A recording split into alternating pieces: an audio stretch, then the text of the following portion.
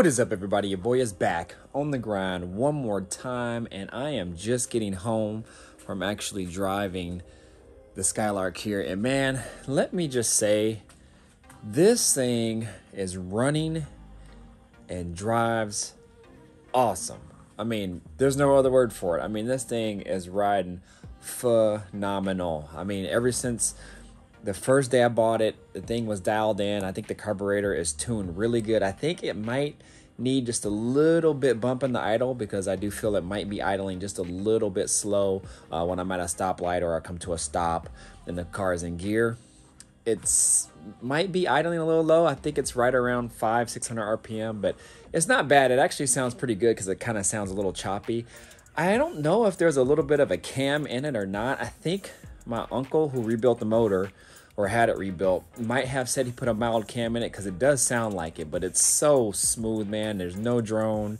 It has a Flowmaster 40s on it, so it sounds good in the rear and if you go to the very back, but in the front, it is super quiet. And that's what I love about it because I can just get in this thing, let the top down and cruise and be totally comfortable with it. If I want to get something a little bit more rowdy and fun, but still smooth and comfortable, then I could go uh, in my Caprice. If I want something really, really, really rowdy, a lot of you guys don't know about my Chevelle yet, but that thing, whoo, and that thing is coming together. My boy just sent me the, um, the not the rough draft, but he's actually almost done with one door panel. And man, I'm telling y'all, man, I'm telling you, it is nice. And but anyways, uh, this video is actually in regards to um, some electric fans or a electric fan 16 inch that I bought for the Skylark here. And just unbox this real quick here so you guys can kind of see. Now this is just a cheap um, Amazon.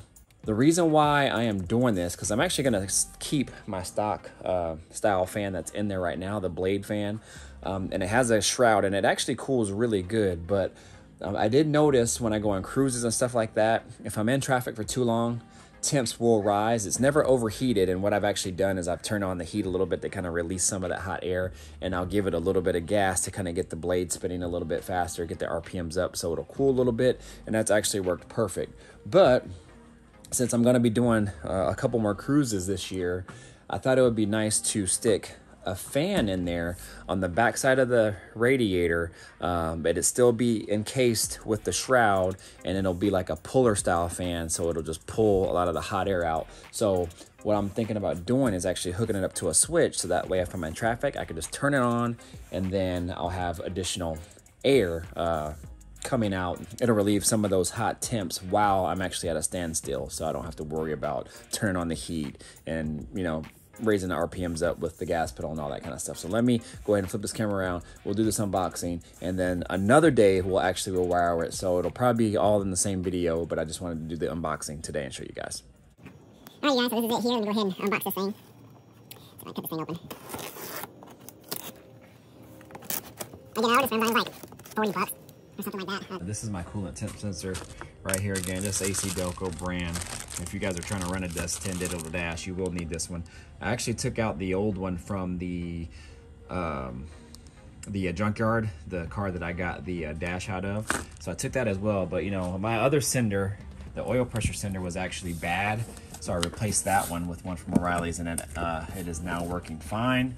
Um, so I'm not sure if the sender is bad on the oil one or not, but I'm gonna go ahead and try this one and see if it works. So, all right, what style is this one? Let's see here. Hopefully this doesn't fall because I have it set on top of my spray can bottles. All right, oh, I guess so this is the brand Maxxon. I've never heard of that brand before, but that is the brand. I measured my radiator and my radiator is actually about 17 inches tall.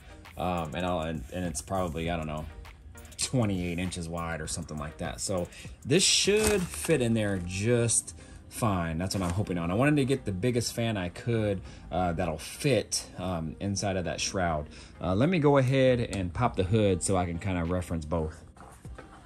All right, you guys, so this is the fan right here, and it is exactly what I wanted. It was slim, and I wanted the slimmest fan that I could, and I think I got that in this one right here. Um, this is actually leaves me more than enough room, hopefully, uh, to stick in between current fan and then the uh, radiator. So uh, I think this is about over 3,000 CFM, I believe.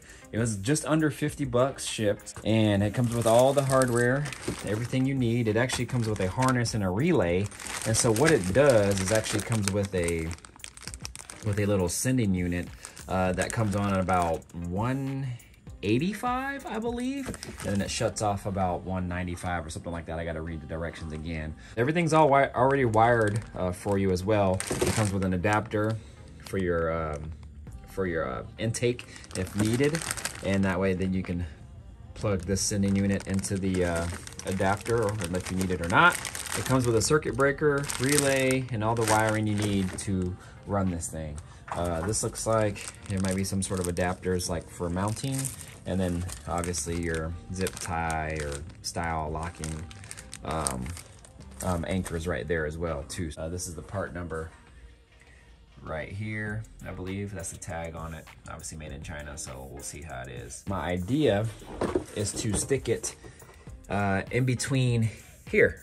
So right here, mounted against the radiator, and then that way I have a lot of room uh, in there to place it. So, because the fan is actually, you guys could probably see it right there. So there's one of the blades. So the fan is right here, the radiator is here. So I mean, that is a good, you know, maybe seven inches or so. And then obviously have more than enough room here. So uh, I think the next steps would be just to take all this off and then go ahead and, and try to move that shroud, try to start placing the fan in there. Have already been uh, kind of hard at it here. What I'm going to do, since it doesn't have a cooling issue, I mean, look at this radiator, you guys. I mean, super thick.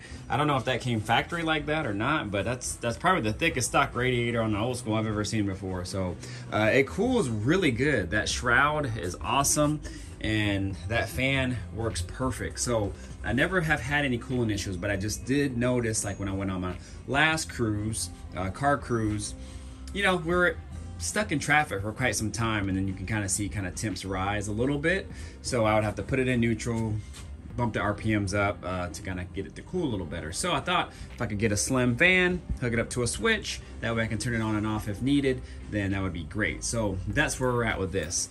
A uh, little bit of a challenge to try to get it mounted because what I'm doing is I'm using these little zip ties thing that they send you. Now, I don't necessarily like these because I don't like to stick them in between the radiator fins. I know it's probably okay as long as you do it safely and you know don't damage the fins. I just like a little bit more cleaner look. However, I'm kind of thinking at some point I will probably have to replace this radiator. I don't know how old it is. So I'm just assuming maybe at some point I'll probably have to replace it. I really hope not. But being that you're not going to be able to see this fan anyway because it's going to be covered by the shroud, um, then I'm okay with doing it like this as long as I do it, uh, you know, clean and, and safely and whatnot. So, and what's really cool about this, and again, this is just the Amazon brand, is it came with like these little feet. So you can also mount it from here, but you can also mount it from here. And I think this was like a lot cleaner and I liked it better. Um, and also it allowed me to have these little zip tie things sit flush against this versus against this since it didn't give me a whole lot of an edge there. So uh, I thought that was pretty slick. I was thinking, well, I'm not gonna be able to get these long little zip tie things in there in between this small space. I mean, like no way. But as you can see, I already got one in and, the, and another one over there. Now, what I did is this fan fits perfect, you guys. I mean, like from top to bottom, it has this little flat edge here from edge to edge, because uh, it has a flat edge on both sides, it fits just perfect. I measured just perfect. Uh, what I did is kind of temporarily just placed it here. Uh, let's just say this uh, filter is the fan. And I placed it kind of like so. And then what I did was stuck these little zip ties in through the hole to mark my location and then I just fed it through on the other end. And then I knew that I had to feed, you know, these ties directly in that location. I thought that was pretty slick. And I thought that would work really good. So to get down far at the bottom was a little bit of a challenge. So I used these little thin, curved needle nose pliers. So man, that idea was really, really clutch. So uh, I would like to say I thought of it, but I actually saw it somewhere. I'm gonna go ahead and mount this up and make sure that's all secure and everything. And then I'm gonna go ahead and go with the wiring. And I just realized I have these parts sitting here and I didn't even talk about them. So all this really is right here is since I was taking off uh, the belts and all that, well, I didn't have to take off the belts, but I'm changing out the uh, alternator, which is down here because I went with a higher amp alternator. I'm gonna leave it off for now because I'm actually, hopefully tomorrow, sometime in the next couple days, I'm gonna clean this whole engine bay. And then I went ahead and checked the belts. They're not horrible, I've seen worse. Uh, from the outside, they don't look terrible. One, you can kind of see a little bit of cracking, but if you go underneath it, then you see it is definitely cracking pretty much everywhere. I've been thinking about the belts recently since I've been driving the car, just because, I don't know, it's just been on my mind. And usually when I think about things like that, I usually have to check it out and I just don't want anything to happen. And my hunch was right. Uh, they're a little bit old, so I might as well just go ahead and replace them.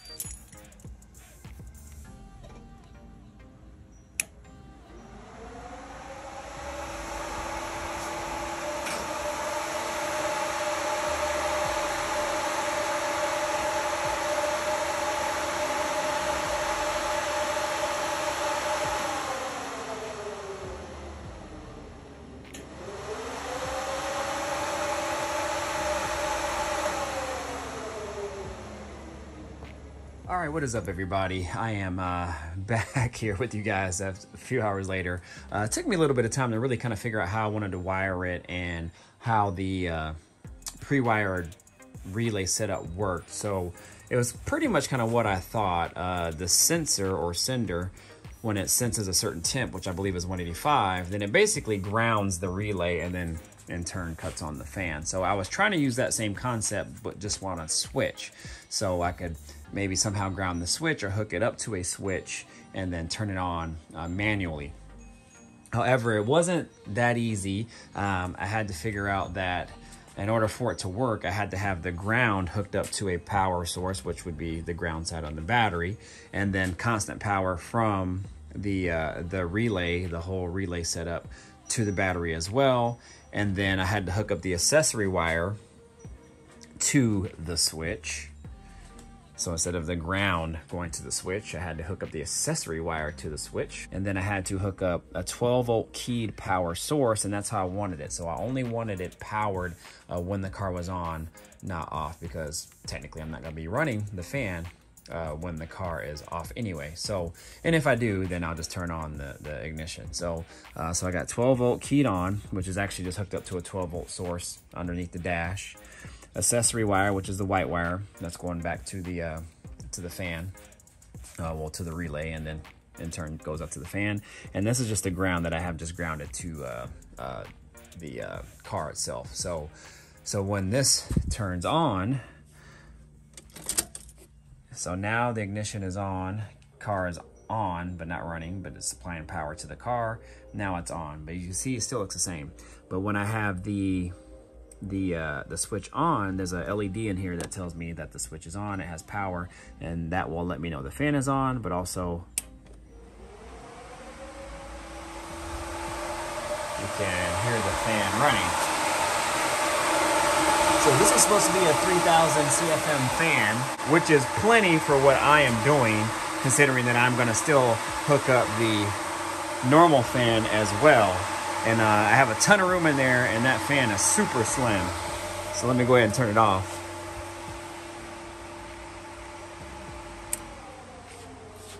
So let me see. Oh no, the, and the switch isn't hot, so that's good. So what I might do is I might just buy a uh, a 30 amp rated switch just in case. Since I already bought it, I cut it open and everything. I probably could take it back. I realize it's really good and I spent enough money in there anyway. They all know me in there. So, uh, but I might just keep that as a backup. Now it's just gonna be just final installation. What I'm gonna do is I'm gonna leave everything off because tomorrow or sometime this week, I'm actually gonna clean this engine bay. I'm not gonna like totally detail or go all in on it. Uh, I just really just wanna kind of clean it up, uh, make things look a little bit more presentable. And I also want to attack this right here. So I'm gonna clean that up. All right, y'all, so here's kind of a before in the light here, of what it looks like. So you can see years and years of grime on the carburetor. Just everywhere, you guys. This car's probably never ever been cleaned.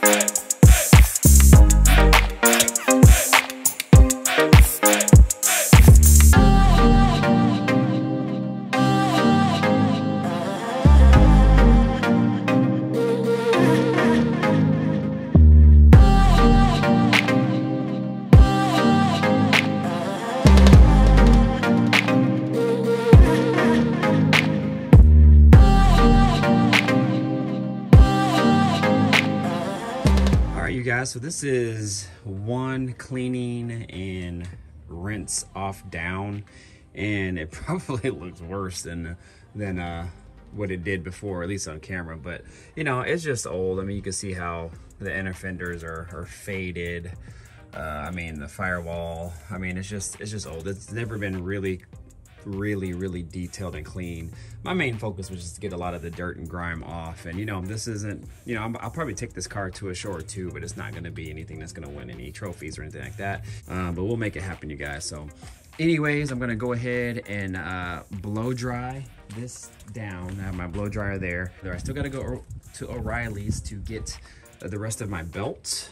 Uh, my new belts came in, so I gotta get those.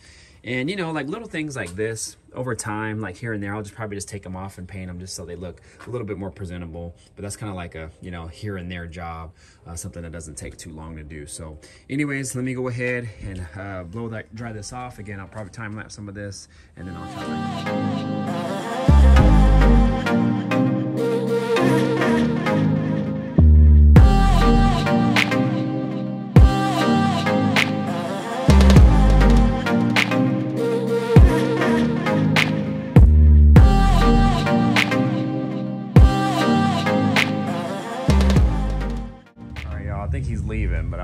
try to be sly. See if I can get him.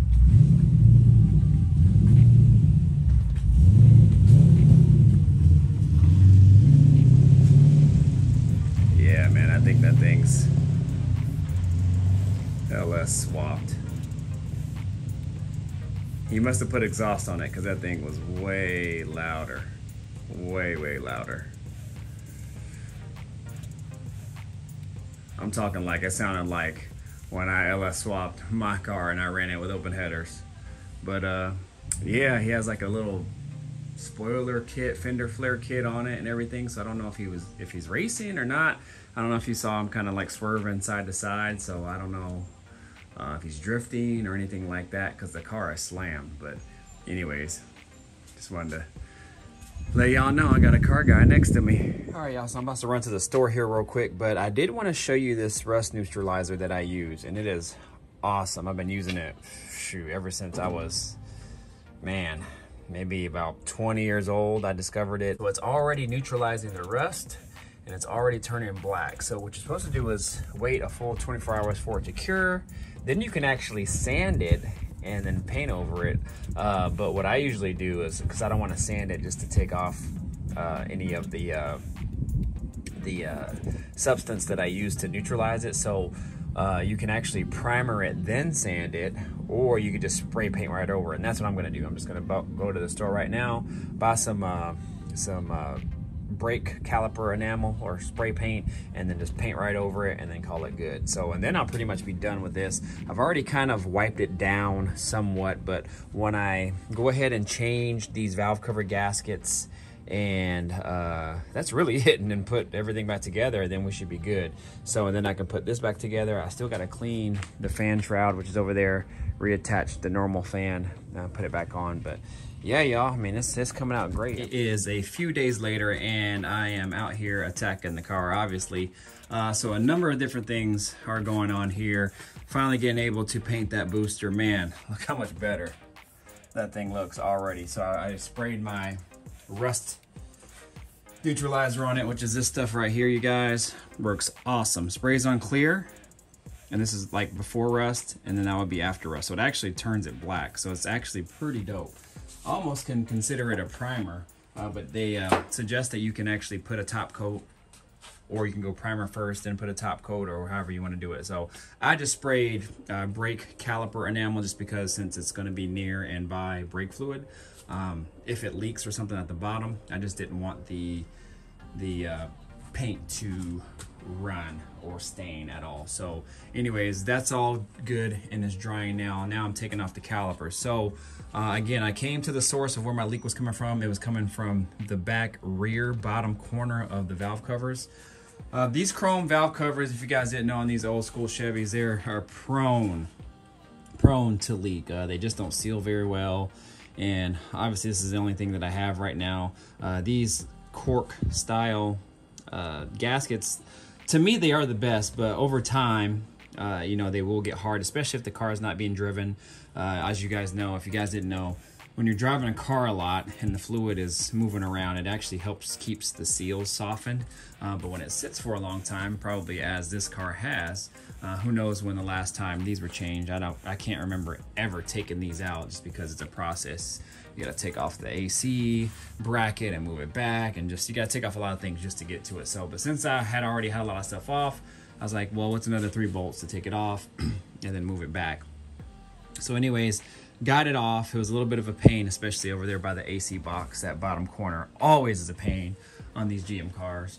Uh, so what I think I might do is just go ahead and clean it up and then uh, I think I'm going to scuff this part right here uh, just with some like really uh, light grit uh, sandpaper just to kind of roughen this up not not so much to take off the chrome but just to kind of give it give the gasket sealant a good tooth to kind of stick to and then uh, go ahead and put the gasket down because I got new gaskets they're sitting over there and then I can go ahead and put them down. So I wanted to take off the hardest one first.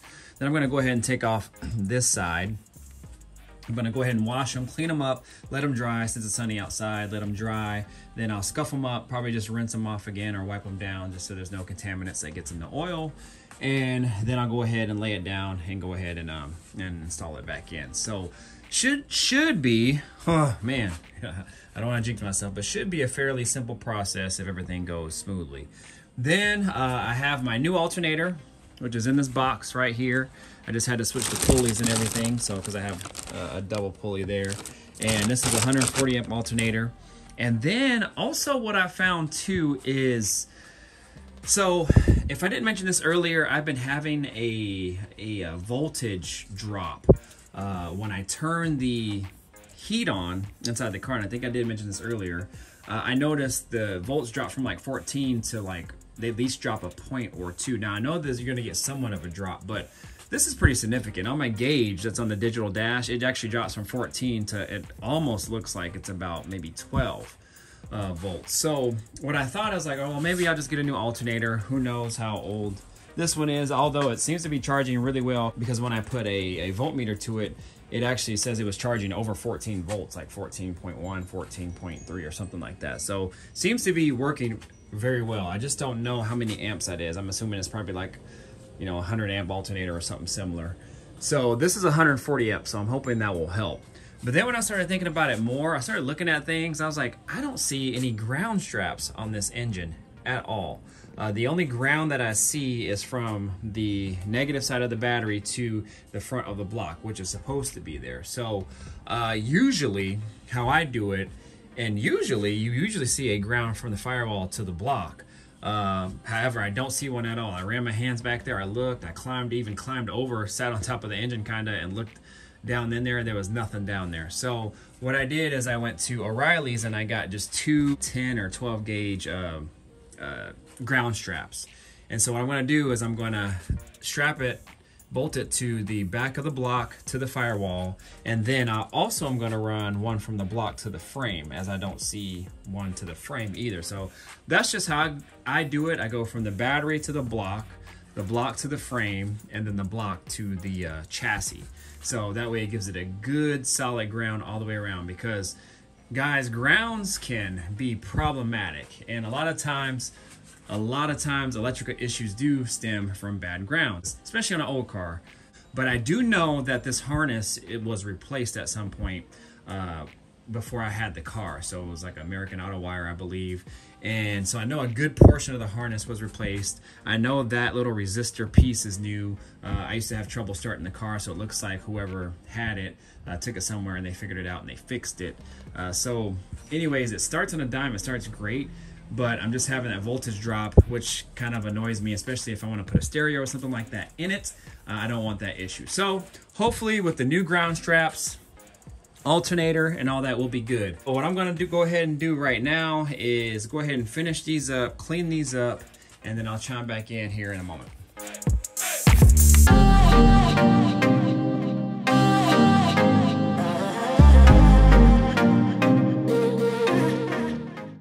See, these are all clean now. It's kind of a pain in the butt. That's the only thing I don't like about the old school motors is they use, you know, the old school RTV and the gaskets and all that. LS motors, you know, they just have the the gaskets that kind of just seal themselves to the block and wherever you got to put them. That's what's really nice about the the new LS motors. These, obviously, again, you got to use RTV or actually I use the right stuff gasket maker. But anyways, what I'm going to try to do is I'm going to put these on. Got these from O'Reilly's. I also picked up some of these as well. These are kind of little uh, clamps that you put on. Uh, so because before, and this is more than likely why it was leaking, is there was only little bolts here. And so uh, they probably just leaked over time and and uh, there wasn't any any way where it could really seal um, evenly around the uh, valve cover. So I got some of these. So what I'm to do is I'm to put two of these like on the outsides and I'm to put this uh, this shorter one here on the middle. And why I did that is because these only came in a set of four and they only had two at the store. And being that they only come with four and I got six holes, then I'd only be, I'd be, you know, a few short. So what I thought, I was like, well, I'd buy those two, put them on the outsides, and then I'll put these shorter ones here uh, in the middle. And I think I'd be okay with that. So uh, the main thing is it was leaking on the rear cover back here in the corner. Well, at some point, I'm probably just to replace them anyway. So I'm to go ahead and time lapse this for you guys, putting the gaskets on.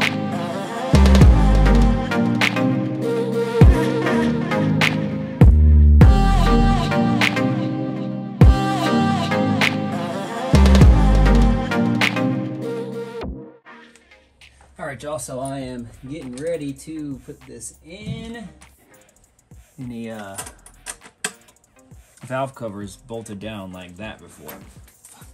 Any valve covers bolted down with just bolts before, but I guess so.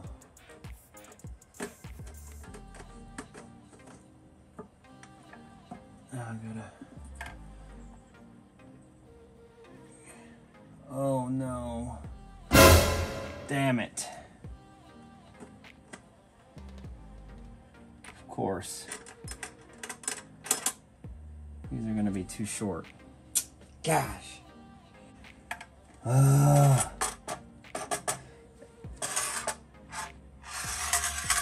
gonna just set everything on there. Man. Yep. Damn it. These bolts are too short. So what I'm gonna do is go ahead and do this off camera and then I'll chime back in when it's all put together. All right, y'all, so I am here the next day just to catch you up to speed. Uh, I've been working for about an hour or so. I had to run some errands. I had a really busy morning, but I have a light afternoon. So it's about 3.30 right now. I got a client at 4, and then I'm to come back and, and probably finish this. So There's always problems, man, with these old cars. I mean, I'm sure you guys have heard it a thousand times, but there's always something. So I've gotten to the bottom of why there was only bolts holding down the valve covers and no uh, clamps. And what do I mean by clamps? Is these right here, these clamps. So as you guys know, if you're gonna know anything about old school cars, uh, on these valve covers, these clamps are down there and they're actually anchored down by uh, bolts and it flattens them out, but it distributes uh, even pressure or more even pressure along uh, the valve cover. So, you know, it'll help minimize um, leaking and it'll help the gasket seal. Well, these weren't on there. And um, the reason being is because these and even this style, these little triangle style right here, they fit, but they don't fit. So uh, they're actually contoured correctly to the valve cover. If you can see, there's little, there's like a little indentation there. And so they fit perfectly, kind of like how that one is right now. But I had to make that one fit.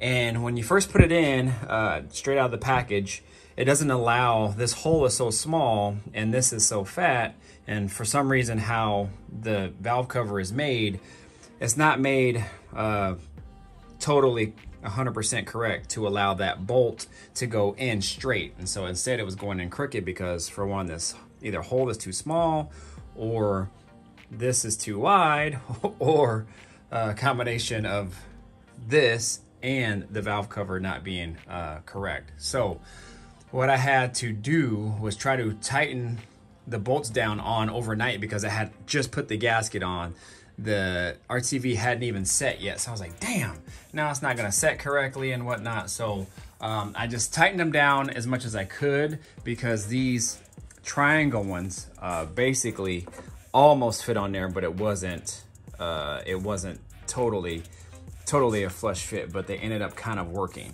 And also because I use those, somebody used some really short bolts and then with the lock washers, it made them basically bottom out from the get-go so they wouldn't even reach.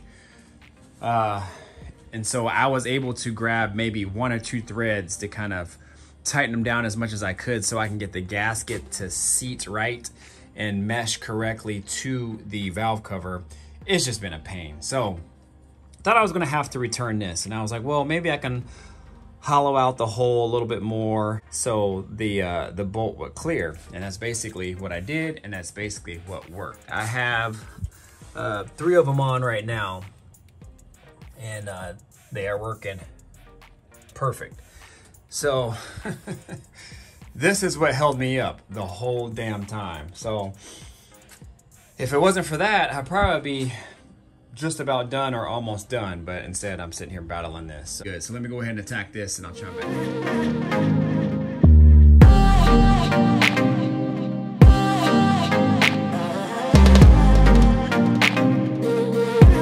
All right, y'all, it is the next day once again. Uh, who would have ever thought that it would have taken three days to do some damn valve covers? Man, time to piece this thing back together, alternator, belts, and whatnot. So I'll probably just go ahead and time lapse this and then uh, I'll chime back in.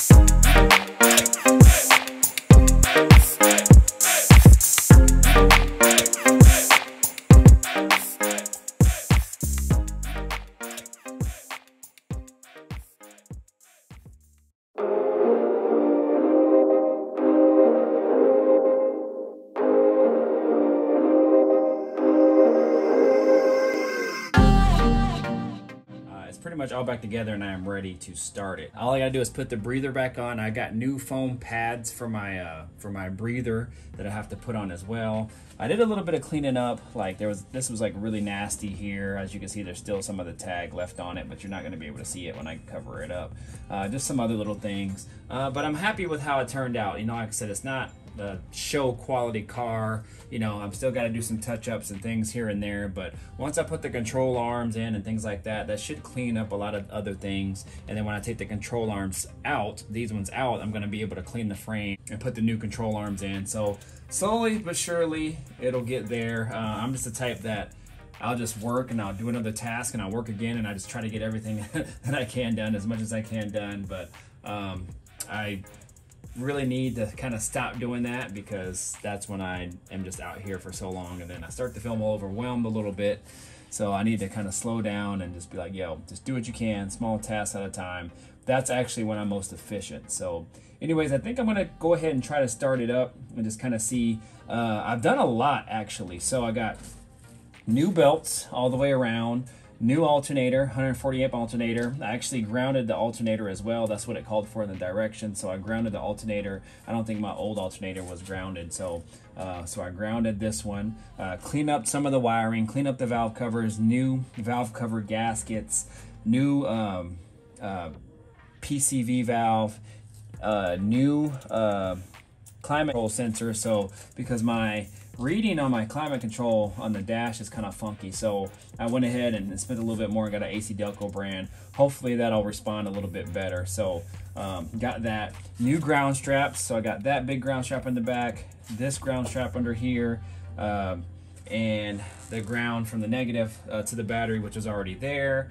Uh, I also ran a two gauge wire all the way from the positive side of the battery all the way to the alternator. So hopefully um, any charging issues that I had uh, are gone now. So like I said, when I used to turn on the, the heater, uh, the voltage should drop about a about a, a volt or so. So um, hopefully that resolves that with the new alternator and everything. So what I'm going to do is I'm to get the keys, then I'm going to start her up and see how she sounds and see how she's running. All right, y'all, we're going to give it a go.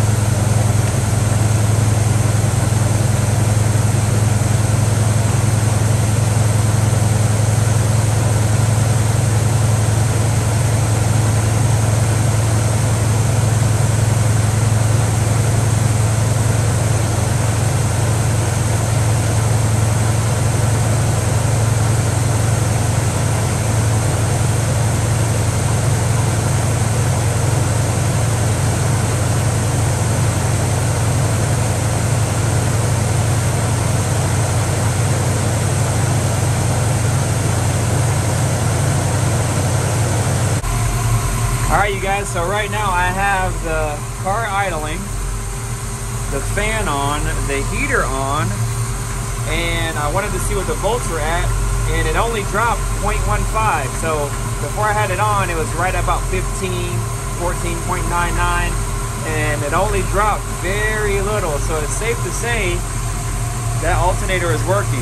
Um, I would assume that my ground straps that I added and this two gauge wire that runs from the positive all the way to the back of the alternator. The positive side of the alternator is also probably helping as well. So I'm really glad that I did that. Uh, it seems to be working just fine and charging great. If we go inside,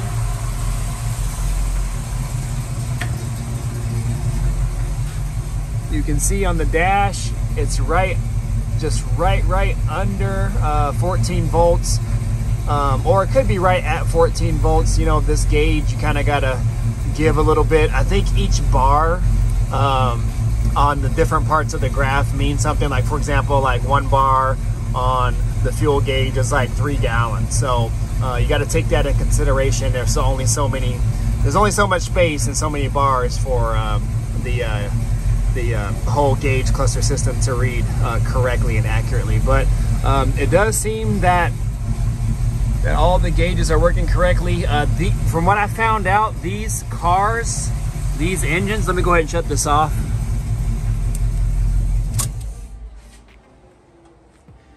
So from what I found out, uh, these Buick engines are notorious for uh, reading low oil pressure. I guess that was kind of the one negative about these motors.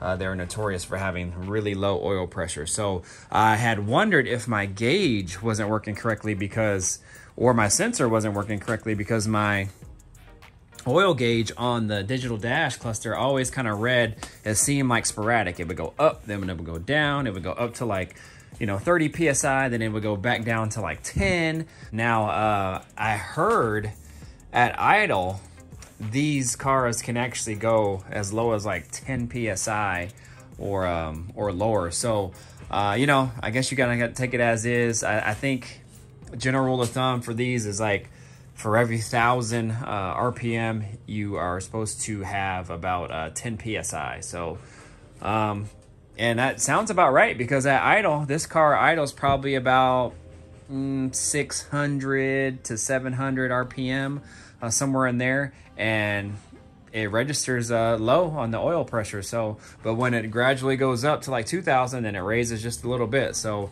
I guess I'll just kind of have to take it as is. So, but yeah, y'all, I think I'm going to go ahead and call it. I think this is all good and ready to go. The only thing I have to do now is put on those foam pads. I have new foam padding that I'm to put on.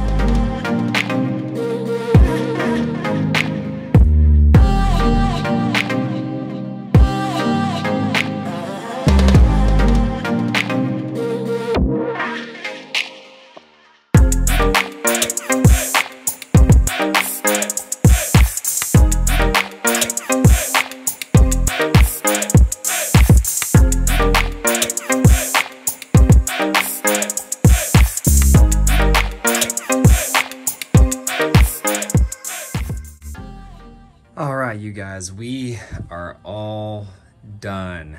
Man, whew, man, man, man, that was a process. Crazy how it only starts with one thing, which was me wanting to do the valve covers, and then that turns into, oh, here, let's change the belts. Let's put in grounds. Let's put a new power wire to the alternator. I mean, it just goes on and on. Oh, let's put in a fan, you know, just like one task can never be one task. It always snowballs and goes into the next. But with all that being said, uh, I am happy, happy with it. And, you know, it charges a lot better. It seems to be running a lot better as well. Uh, well, it always ran good. It just seems to be running a little bit more efficient. Uh, a little cleanup like these foam pads. I mean, look how much better that looks. Uh, new filter. This is looking way, way better than before. I mean, obviously, there's still some surface rust and just old old dirt and stuff that's really not probably never going to come off unless I, you know, really scrub it and then paint over it. It's just not going to look, you know, totally great. But like I said, this thing, I drive, man. I'm going to drive this thing and just enjoy it and, you know, take it to a show you know, pop the hood maybe. If not, you know, whatever. It's probably not going to win any awards, and I'm okay with that. You know, I just love this car. Uh, I'm just so happy and ecstatic to get it back, man. And uh, man, I can do all the things that I've ever wanted to do on it, and I'm just, I'm just, man, I'm just really just thrilled to get this thing back. So, anyways, with that being said, man, we are done. We are done. So man, if you guys like what you saw, go ahead and definitely leave a comment. Definitely hit the like button. Subscribe if you haven't already. This thing is coming along.